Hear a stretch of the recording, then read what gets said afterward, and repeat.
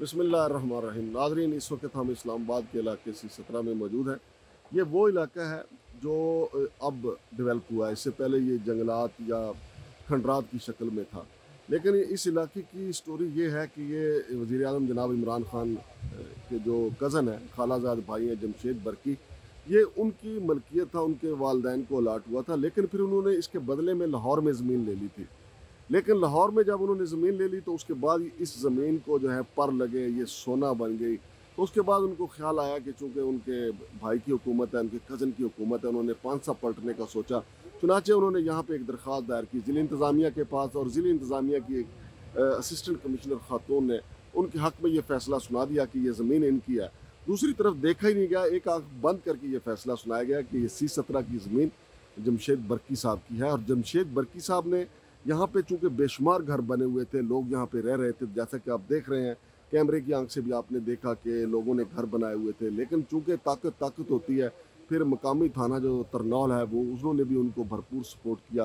اور تقریباً کم و بیش یہاں پہ دس سے بارہ مقدمات درج ہوئے۔ ان میں دو کم سے لڑکے نوجوان طالب علم بھی تھے جو انڈر ایج تھے، ان کے خلاف بھی مقدمات درج ہوئے۔ پھر آپ دیکھ رہے ہیں کہ لوگوں کے بنے ہوئے گھر گرا دیے گئے۔ اور ان لوگوں کو گرفتار کر لیا گیا۔ پھر اللہ کا کرنا یہ ہوا کہ کچھ لوگوں کو عقل آئی تو انہوں نے لاہور ہائی کورٹ سے رجوع کیا۔ اور لاہور ہائی کورٹ میں یہ بات ثابت ہو گئی کہ یہ پانچ سو کنال کا تقریباً جو رقبہ تھا، جمشید برکی صاحب بہت عرصہ پہلے ان کا خاندان جو ہے وہ لاہور میں لے چکا ہوا ہے۔ تو لاہور ہائی کورٹ نے فوری طور پہ حکم دیا کہ یہ اس کو واگزار کرایا جائے، اس کو خالی کروایا جائے۔ اب آپ دیکھ رہے ہیں کہ یہ پہلے مکانات جو بن رہے تھے، یہ جمشید برکی صاحب نے گرائے تھے، پھر یہاں دیوار بنا دی گئی تھی اور ان کا قبضہ شاید ظاہر کیا گیا تھا اور لوگ یہاں سے ان کے خوف کی وجہ سے بھاگ گئے تھے۔ بلکہ مقامی طور پہ جو سوسائٹیاں ہیں، انہوں نے ان کو آفر دینا بھی شروع کر دی تھی کہ ہم سے مناسب پیسے لے لیں اور یہ زمین ہمیں دے دیں۔ لیکن چونکہ اس کی کل مالیت جو ہے وہ چار پانچ ارب کے قریب بنتی ہے، بڑا قیمتی ایریا بن چکا ہے۔ یہ فیکٹری جو سام یہ فیکٹری ذرا دکھائیں، یہ جو فیکٹری ہے سامنے اس کو بھی اس کے بھی دیواریں جو ہیں وہ گرا دی گئی تھی۔ لیکن بعد میں جب معاملہ پلٹا، ہائی کورٹ سے معاملہ پلٹا، یہ فیکٹری بھی اپنا کام کرنا شروع ہو گئی۔ یہ ماربل فیکٹری ہے، اب یہ اپنا کام کر رہی ہے اور لوگوں کی اب ریل پیل یہاں پہ شروع ہو گئی ہے۔ خاص طور پہ پراپرٹی ڈیلروں کی بھی چاندی ہو گیا پراپرٹی ڈیلر چونکہ لوگ خوف زدہ ہیں۔ کوئی گاڑی آتی ہے، کوئی سرکاری خاص طور پہ گاڑی آتی ہے تو لوگ خوف زدہ ہو جاتے ہیں کہ شاید دوبارہ جمشید برکی صاحب جو ہیں وہ اپنے جاہو جلال کے ساتھ آ گئے ہیں۔ لیکن جن کا کوئی نہیں ہوتا، ان کا اللہ ہوتا ہے۔ تو ایک دفعہ تو جمشید برکی صاحب یہ بازی جیت گئے تھے، وہ ساری پانچ سو کنال کا جو رقبہ ہے، وہ سارے کا سارا جمشید برکی صاحب جو ہیں وہ حاصل کرنے میں کامیاب ہو گئے تھے۔ لیکن پھر اللہ تعالیٰ کا کرنا ایسا ہوا کہ بازی پلٹ گئی۔ لاہور ہائی کورٹ نے اپنے فیصلے میں یہ لکھا کہ جمشید برکی اینڈ کمپنی یعنی ان کا خاندان جو ہے، وہ زمین لے چکا ہوا ہے۔ آپ دیکھ رہے ہیں کہ یہاں پہ اب تیزی سے تعمیرات جاری ہیں۔ لوگ چونکہ خوف زدہ ہیں، ان کو ڈر ہے۔ کہ دوبارہ کوئی ایسا نہ ہو، سلسلہ ہو جائے۔ لیکن سنئی یہ ہے کہ جو جمشید برکی صاحب جو ہیں، اب وہ چاہتے ہیں کہ لوگ اپنے اپنے گھروں میں آباد ہو جائیں اور ان کی بدنامی نہ ہو۔ جو بدنامی، ان کی کیا؟ بدنامی تو ساری وزیر اعظم جناب عمران خان کی ہو رہی تھی، جو کہہ رہے تھے کہ میں اپنے بہنوئی کے مکان کا پلاٹ کا قبضہ نہیں لے سکا۔ لیکن یہاں پہ معاملہ ایسا ہوا کہ عمران خان کا نام استعمال کر کے ضلع انتظامیہ جو اسلام آباد کی انہوں نے بالکل ہی بالکل ہی معاملہ جو ہے وہ الٹ کے رکھ دیا۔ اب اصولی طور پہ ہونا تو یہ چاہیے کہ یہ جو ظلم ہوا ہے، لوگوں کے ساتھ، لوگوں کے بنے ہوئے مکانات گرا دیے گئے۔ یہ دیکھیں، یہاں بلڈوزر چلے ہیں۔ یہاں بلڈوزر چلا کے مکانات کو گرایا گیا ہے۔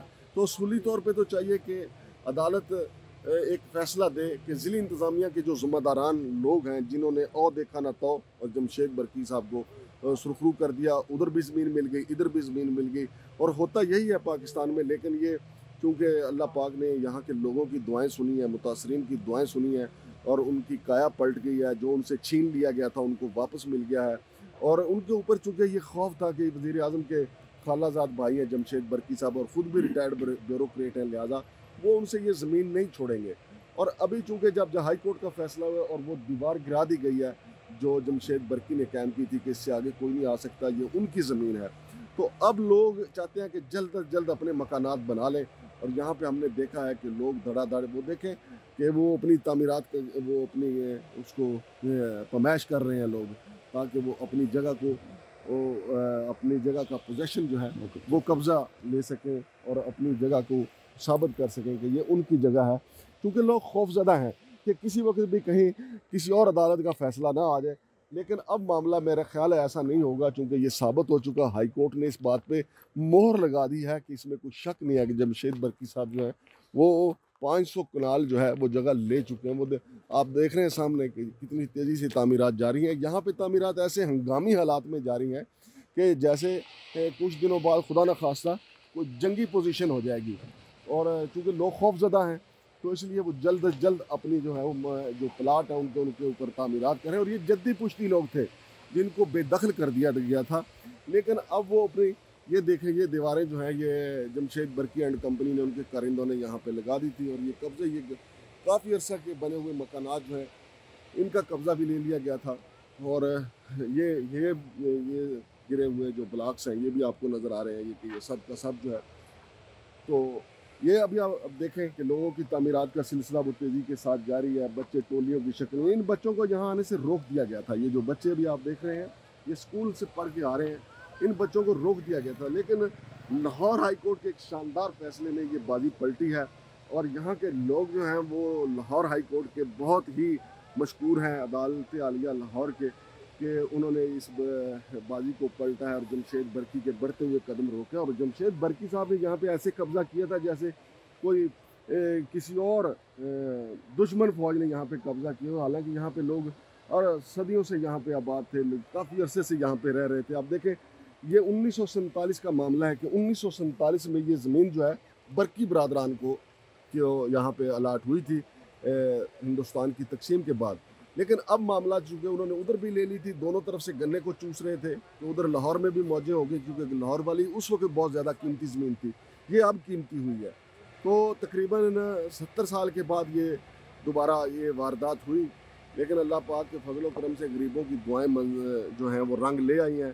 اور غریب کامیاب ہو گئے ہیں اور دعائیں دے رہے ہیں اپنے جناب لاہور ہائی کورٹ کو کہ انہوں نے ایک بڑا زبردست فیصلہ سنایا ہے اور جمشید برکی کے جو قبضہ تھا یہاں پہ، اس کو واگزار کرا کے دوبارہ غریبوں کو جن کے گھر ہیں، ان کے حوالے کر دیا گیا ہے۔ جی ناظرین، یہ وہ جگہ ہے، یہ جمشید برکی صاحب کو یہاں کا قبضہ دینے کے لیے وزیر اعظم جناب عمران خان کے کزن جمشید برکی کو قبضہ دینے کے لیے یہ ضلعی انتظامیہ نے موقع پہ آ کے خود دیوار لگوائی تھی اور مقامی پولیس، تھانہ ترنول پولیس ساتھ تھی۔ لیکن ہائی کورٹ کا فیصلہ آنے کے بعد یہ دیوار گرا دی گئی ہے۔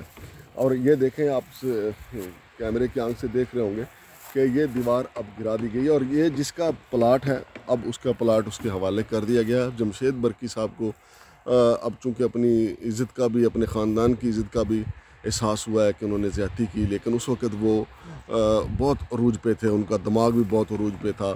جب ان کو قبضہ بھی مل گیا تھا اور مقامی جو ہماری ضلع انتظامیہ اسلام آباد ہے، انہوں نے یہ بھی ظاہر کر دیا تھا کہ یہ نہ صرف زمین جناب جمشید برکی صاحب کیا بلکہ قبضہ بھی ان کا ہے۔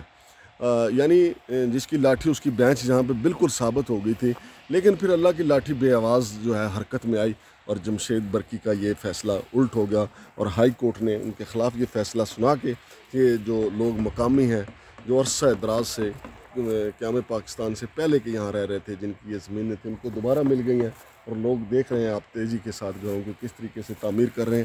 اور یہ عدالت عالیہ کا ایک بڑا زبردست فیصلہ ہے اس لاہور ہائی کورٹ کا، جس کی جتنی تعریف کی جائے کم ہے، چونکہ مقامی لوگوں کو ان کا حق مل گیا ہے۔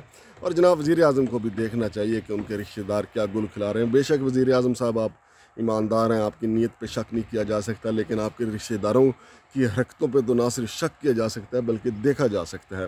چونکہ آپ کے بھائی جو ہیں، آپ کے خالہ جمشید برکی صاحب جو ہیں، وہ بیوروکریٹ رہے ہیں اور بیوروکریٹ جو جتنے بھی پاکستانی، ان کے منہ کو خون لگا ہوتا ہے۔ ان کو یہ ہوتا ہے کہ جو مل جائے کھا جاؤ۔ اور پھر ایک بیوروکریٹ جو ہے، وہ اپنی جو جب تک وہ اقتدار میں ہوتا ہے، جب تک وہ برسر روزگار ہوتا ہے مدت ملازمت کے دوران تو جو وہ چھکے چوکے لگاتا ہے لگاتا ہے۔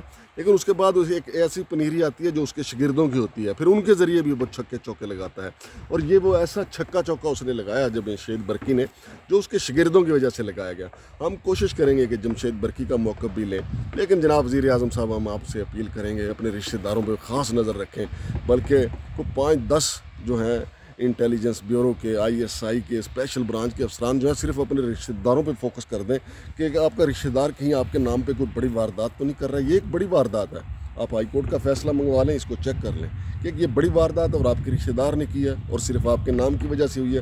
اور ضلع انتظامیہ کے جو ذمہ داران ہیں، ان کو بھی کٹہرے میں لایا جائے، بہت ضروری ہے۔ شمشاد مانگٹ کو اجازت دیجیے اللہ حافظ۔